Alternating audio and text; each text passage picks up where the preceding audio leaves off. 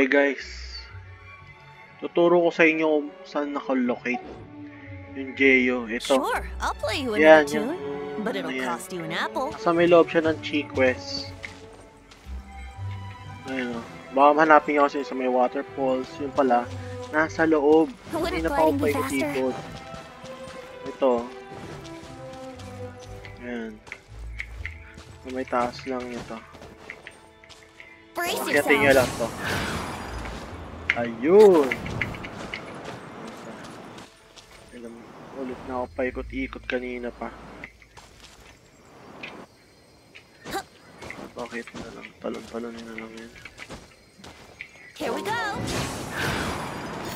Oh, finally. Nakakuha ko din. Hindi na pa ako paikot-ikot. Yan lang. Share ko lang sa inyo kung paano ko nahanap.